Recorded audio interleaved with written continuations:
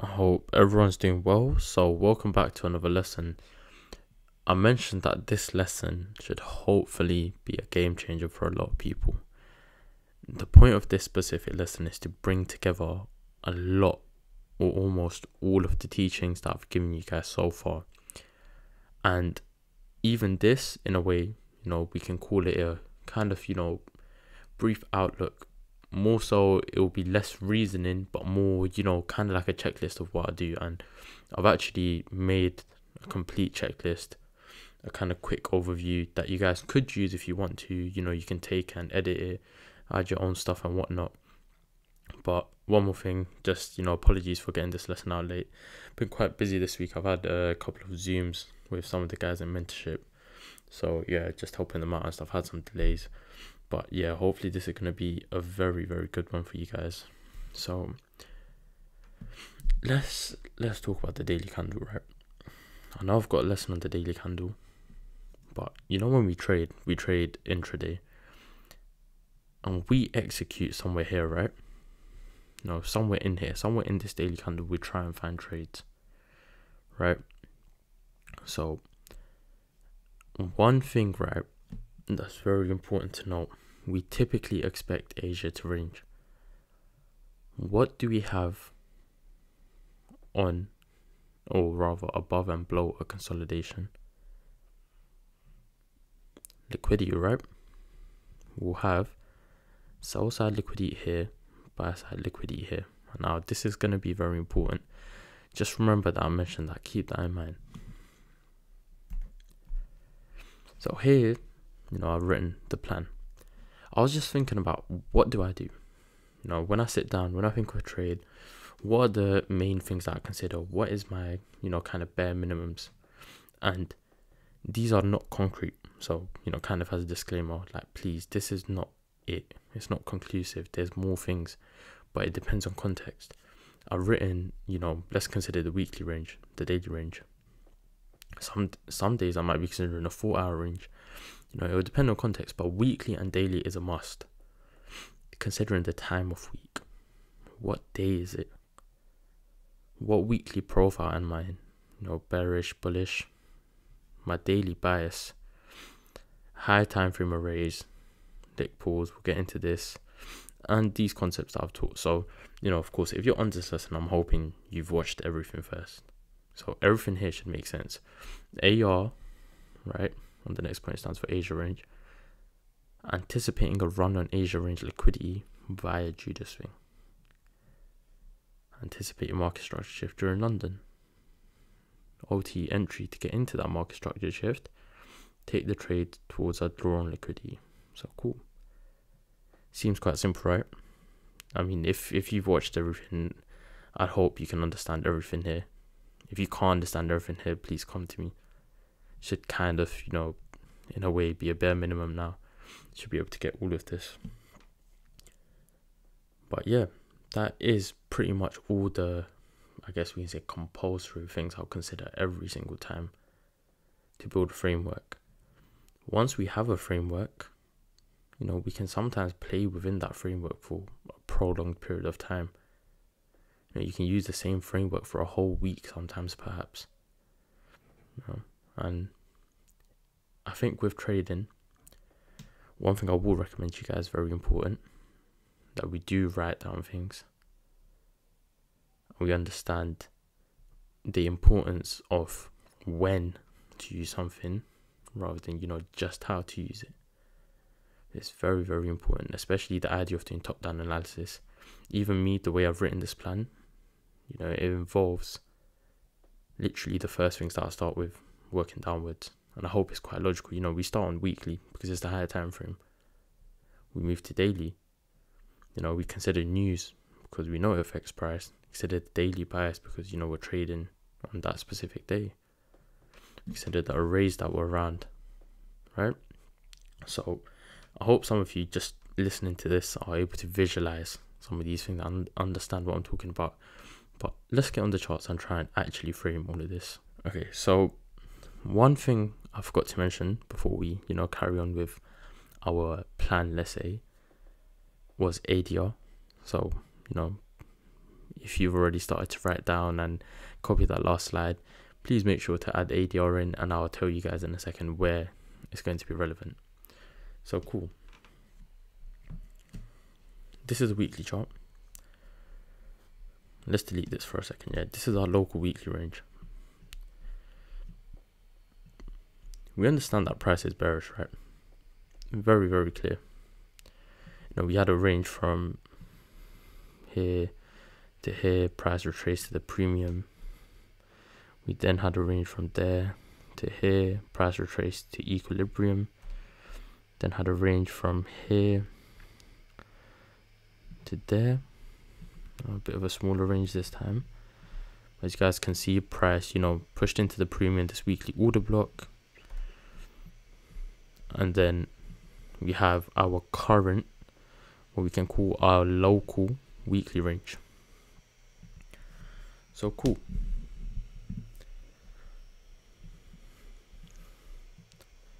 Now that we have a weekly range, right? Episode, I believe it is 10, 10.5. We speak about ranges. You know, we want if we're bearish, which we are bearish here, we want to move into our premium, and from our premium, we'd like to see a move lower. Correct. So, coming into this week, this week, you know, open down here would it be fair to say, you know, we wanted a bullish sweep? I'd say so. You know, we wanted to move into the premium. Definitely this imbalance that existed around this area, we definitely wanted to come into that. And coming into our daily time frame, right? You wanted to move into this imbalance. These order blocks, right? Quite nice. Cool.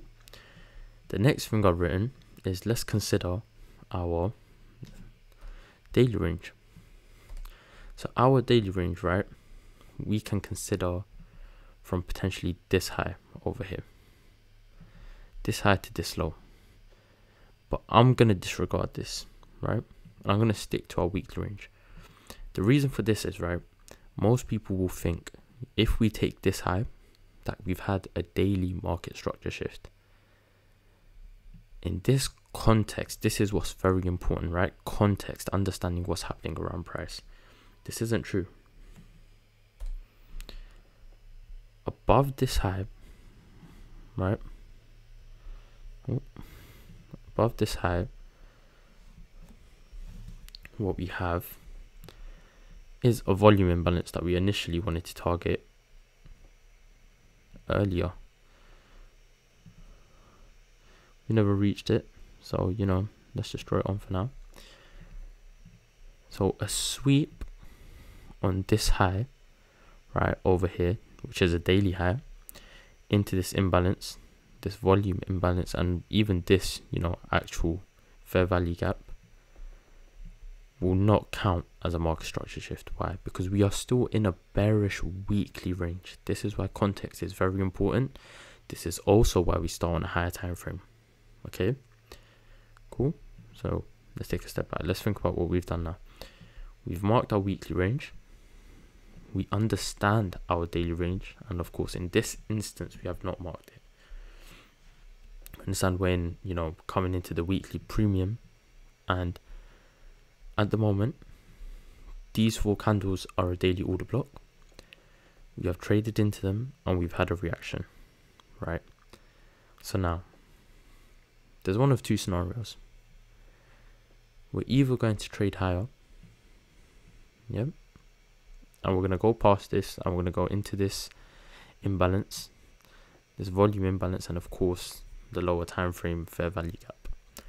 Or, you know, we've had a reaction at this order block and that's it. And we're going to start making the move towards this discount. I mean, sorry, the low down here. Cool why is that important? You know, if our target is above, what do we want from the next daily candle? To go up. If our target is below, what do we want from the next daily candle? For it to go low, right? Quite simple. I believe the next daily candle is still gonna, you know, start reaching up here. Why is this? Let's consider what the last daily candle done. The last daily candle came down, filled this imbalance, you know, even pushed a little bit lower, and rebalanced this area. This is the Euro USD, right? Let's come on to our DXY for a second. Now, this is where, you know, context eh, once again comes into play. For DXY, we are currently in a market maker sell model. And I would really like to see these lows go. You know, this sell side liquidity. And under this sell side liquidity, I would also like us to move into this volume imbalance before a reversal. That is what I would like to see. Right? And if I'm adamant, if I'm sure that this is my target, then I can also anticipate similar from the Euro USD, meaning I anticipate a move up, right? Cool. So in this daily candle, which has already opened, I'm expecting a bullish move. So let's come down onto our four hour. Understand that we formed a four hour low here. This is of significance because we don't want to break this, right? We understand that we have a four hour imbalance here, right? Especially once this current candle closes, we're going to have imbalance unless we fill it within this four hour candle.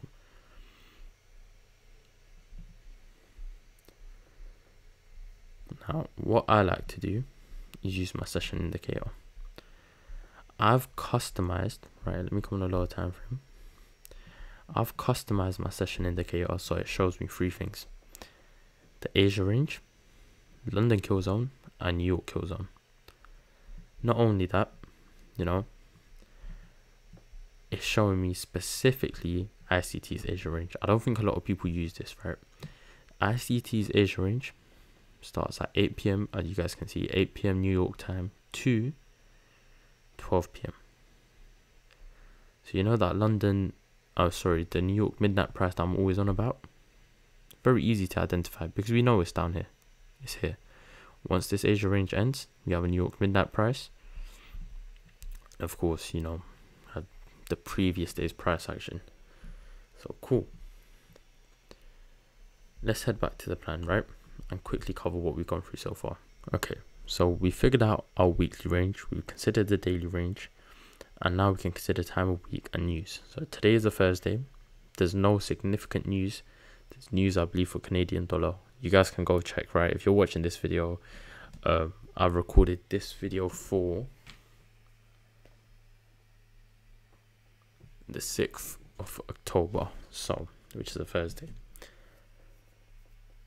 Now right we need to consider our PD arrays. As I mentioned that for our imbalance our liquidity pools and of course CBDR the Asia range forming and of course you know we'll come on to these things in a second. Okay cool. So now right back on the charts. Let's you know like i said it says in brackets we want to consider higher time frame arrays. So you know i don't like to consider below four hour. So what do i see on four hour? Um, i consider this this cluster of highest liquidity. So I'd like to mark this as a potential target want them to go. I also understand that we do not want to see this low get taken, you know, on the four hour. And if we come out to our daily, I also understand that this is the previous day low and we could potentially have a run below this. I don't think we'll get a run below this, but it is, you know, you know, possible. I, I, I think it's unlikely, right? In terms of marking PDH and PDL, previous day high, previous day low, we have to be realistic, right? Remember that thing I said to consider when I first jumped on the chart? ADR. If you calculate your ADR, right? So how do we calculate ADR? Add, you know, do the high minus the low of this day, this day, this day, this day, this day. So the the last five days, one, two, three, four, five and we'll have our ADR for today, right? The previous daily low is about 70 pips away. I don't think that's a realistic move, especially considering I'm bullish. I don't want to see a move that low. Because then I don't think we get moved, you know, all the way back up. Right? So again, we consider, you know, the next time frame. And of course we've realized we have this imbalance here. In these scenarios when, you know, in, in a way I, we, I guess we can say I have a lot of data to go off, I will also consider some other ranges, such as the hourly, right? Seeing what price is doing. So now, right, let's come on a lower time frame. Turn on market session indicators on. Just to just to make things clearer, right? We're gonna go off yesterday's price action. So now, right, here's something. Please make a note of this. If the Asia range is not between 30 and 40 pips, we don't like to trade London. 30 pips is better. 30 pips is ideal. If I use my measure tool, we consider this Asia range. That is almost 30 pips exactly, 31 pips. You know, that's lovely. That's what we like to see. Cool. Now we know Asia range is 30 pips. You know, when we jump on charts, of course, I'm assuming you're jumping on charts around London kill zone time. At least most of you are. We can also consider our CBDR. CBDR 2 p.m.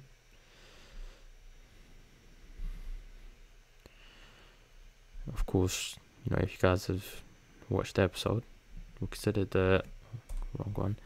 We consider the lowest low within that time and the high and CBDR is 30 pips, right? So cool. We can use both, both are valid.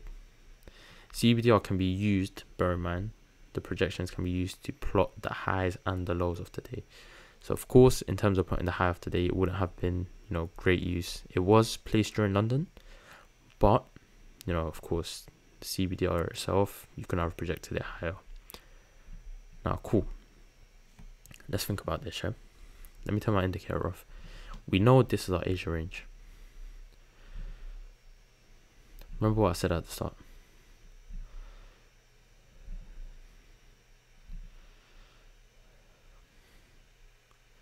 What do our consolidations have?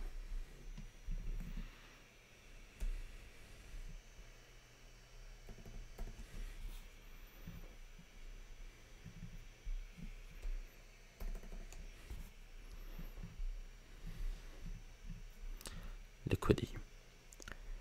Buy side liquidity and sell side liquidity. This is how it works, right? You guys have watched my lesson on offset accumulation, offset distribution. Let's talk a little bit of theory here. If today's day is bearish, right? If the daily candle is going to be bearish, what do you want to see price do? What is this?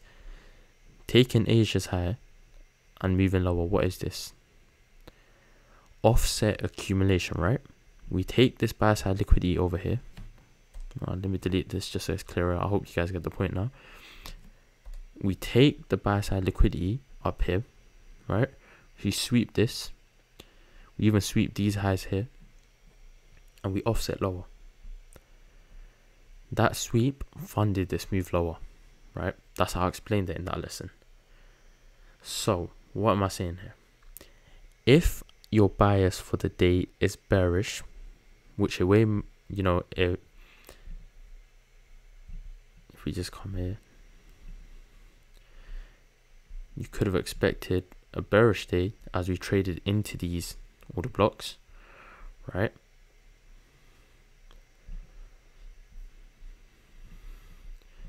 Then what do we want to see? We want to see a run on Asia's high because what is London? London offers us a Judas swing. What is the Judas swing? Judas swing is a move in the opposite direction to the day's bias. Bearish day, Judas swing up, move lower, you know. So this is the move that we want to get involved in, right? Now there's a little bit of a problem. I like this example. You know, looking at the 15 minute time frame, it's a very clear and concise example you know, I've taught you guys a lot of things, but it's very important to realize we do not one have to use everything every day, and two, you know, everything will actually not be genuinely usable either, if that makes sense. You know, don't try and force things. For example, the CBDR to plot the hive today served no purpose.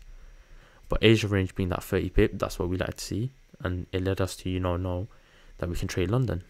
So cool. London now runs Asia's high. Now my, you know, kind of ears are up. What's the next thing I can expect to run on? Previous daily high, right? Which is this high over here. We don't get that run. So, first of all, I would have been feeling a bit, you know, let's say suspicious about this trade. But this displacement downwards, right? Remember, I've mentioned displacement many times now. Shows me price is very price is very clearly bearish, right? So when this market structure shift takes place, right, when we take this low up, I expect a retracement. You know, so what what happens? What this is the range that forms.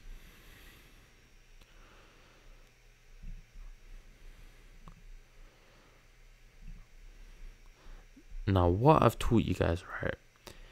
We're shorting, we consider the first premium array.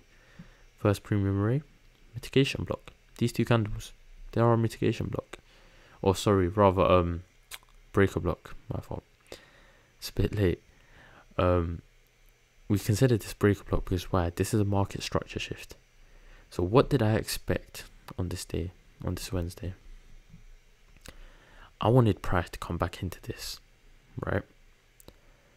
Price didn't give me that trade. So guess what? I didn't trade. It's just how it is, right? Price will not behave how you want it to all the time. Now, what else can we have done? We could have been on a lower time frame looking for an entry, but guess what? Even the five minute did not offer a great entry. In the five minute chart, you know, we have this over here, this breaker, no clear entry no retracement here, right? Let's come even lower. Let's see if we find another one.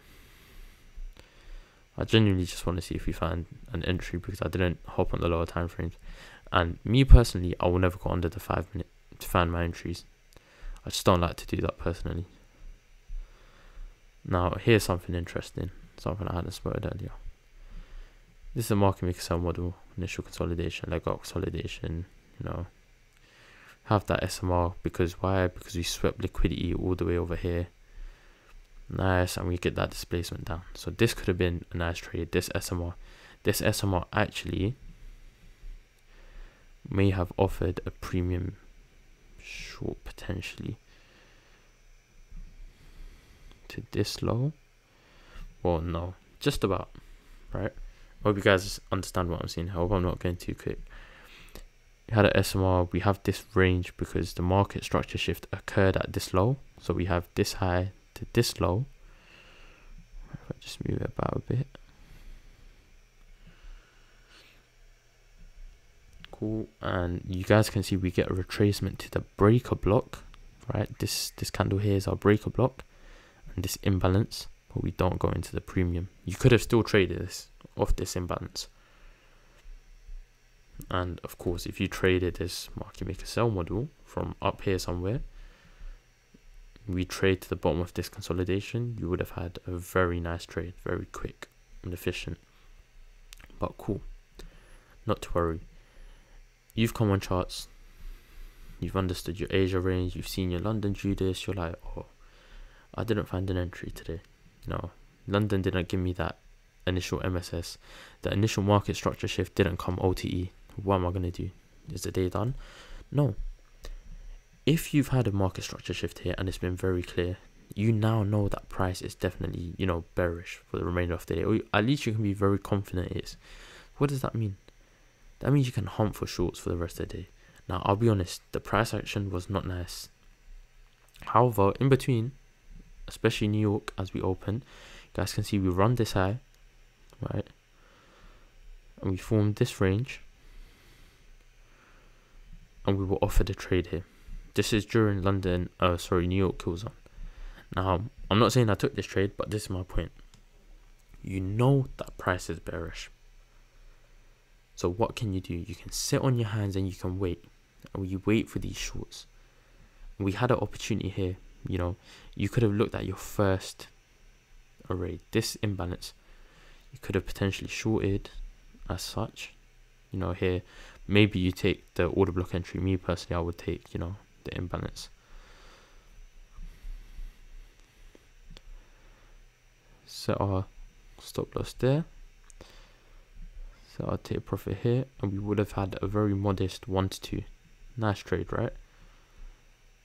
And then, what does price do? Offer you another trade. From this high to this low this time. So let's delete that other fib. Sorry, hope that's not confusing. Now we get another retracement into a premium. What was our first array? You know, this fair value gap and of course the mitigation so what, could, what could you have done again? Short it again, right? So let's just say we short it again. Let's say this time we take it off the mitigation block. Stop loss at the high. Again, this is during the kill zone, so it's in a way an optimal trade. And we have another 1 to 1.5, 1.5% there. This is assuming we target the low and we don't target lower. So now why could we target lower, right? What's the reasoning behind targeting lower? That thing I mentioned, ADR. If you know your ADR, right? Let's say our ADR is here. So, sorry, rather, the high of the day is here. We know this now. We're fairly confident this is the high of the day. Let's assume that the ADR is about 100 pips. So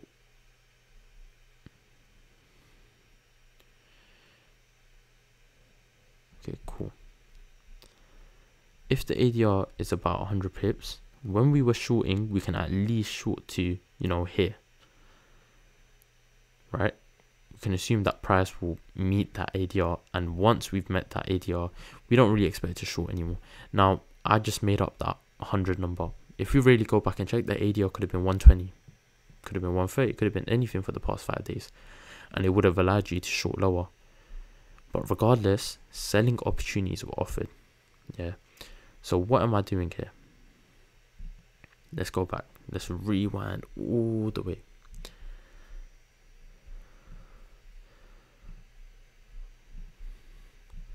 Hope you guys can't hear my laptop. The fan's very loud.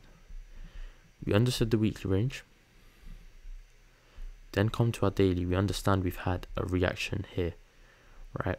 I want price to trade higher. So did I partake in shorts? No, I didn't. Right? I'm being honest with you guys. Just how it works. Me personally, I would rather see one more confirmation that we're bearish, you know, for us to take out another four hour low, for us to trade lower today, and then I'll be like, you know, we're bearish. I don't really expect to go back into that, you know, up here. But I do think we'll go up there, you know, based on what the DXY is doing. So cool. We then come have our chart. Check on our four hour, we check on our raise. We understand we have imbalance here and whatnot. Now, bear in mind, I'm recording this at night, so I have this imbalance here. You know, if you open the charts at London kill zone, it'll be very different. You might have a you know different order block formed or whatever. So, of course, it depends on context as always. Come to a 15 minute usually. Right now, let's imagine it's a new day. Wait for the Asia range to form you know, I consider my CBDR. My CBDR has formed, right? So from this candle, this candle, we consider the low and up to 8 o'clock, which is start of Asia. This is 54 pips. So, you know, you guys have watched the CBDR lesson, 54 pips. You know, we can brush that. We're not using that. So far, where's the Asia range? So far, it's about 22 pips. You know, we want it to go to that 30, 40 mark. And of course, we can anticipate this. Now, I've given you guys the framework for how I look at each daily candle, right? I've considered, you know, the Asia range. You know, we're going to have the sell side liquidity, the buy side.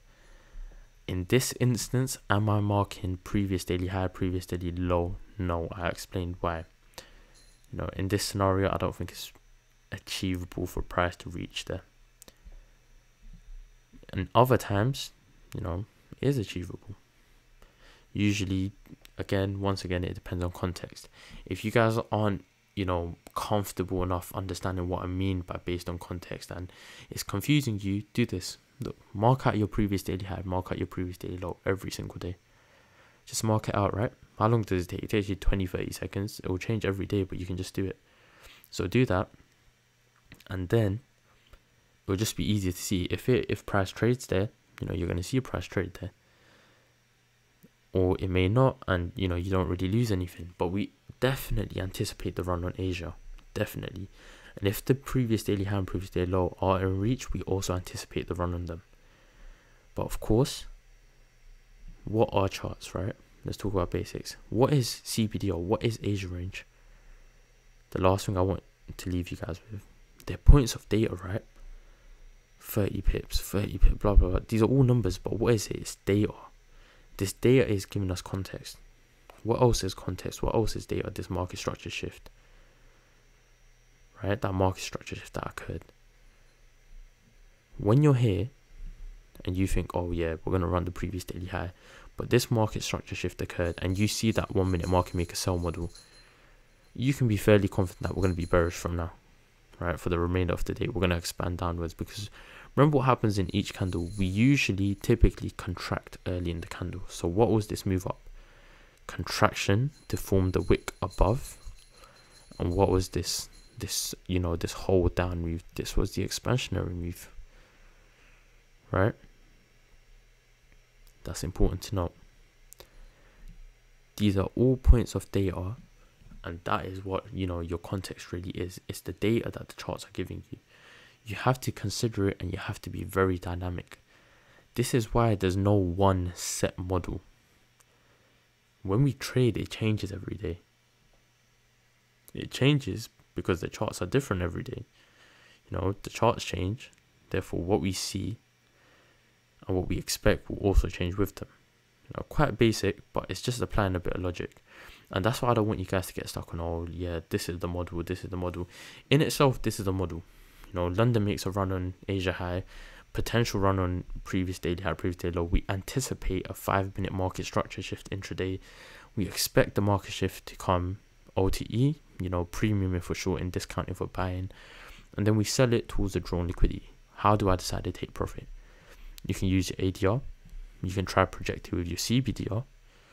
You know, whichever way you like. Or if you want, we can keep it simple and just target the low. We can, you know, take the one to two. If you want, you can target the other side side of Asia. You know, simple trade. Take whatever you're comfortable with. Me personally, I like taking my quick trades. I want to be in and out of the market quick. If it's a one to two, I'm very happy. Any more than that, I'm extremely happy. You know you have to figure out what works for you. But please, please, please, everyone listening to this right now, write down a plan just as I have. Please include ADR in it. ADR, one of my favorite things to use. Don't miss that out. So I don't know how I managed to miss it out. Any questions you have, any you know setups and plans you guys make, please like send them to me. I'll take a look at everyone's. I'll check through it. We can go through it if you're missing anything. If I think you should add anything, but that's about it from today's lesson. I do think there were a lot of things to take in today, right? But I don't think I really introduced you guys to anything new. All this lesson was a combination of everything I taught you separately beforehand. So if there's specific things you're struggling with, go and rewatch those lessons. If you're still struggling, come to me. Of course, I'll help you. But again, like I said, you know, everyone make your plans and be prepared when you're on charts. You know, don't jump onto charts and try freestyle. That's not how you stay in this game for a long time. It took me a while to learn that. So I'm telling you guys now from first hand experience. The sooner you make a plan and you start sticking by it, the better it will be. And trust me, it's not going to be something you regret. As usual, any questions, any help, just hit me up. All my socials are there. You guys can at me in chat or PM me.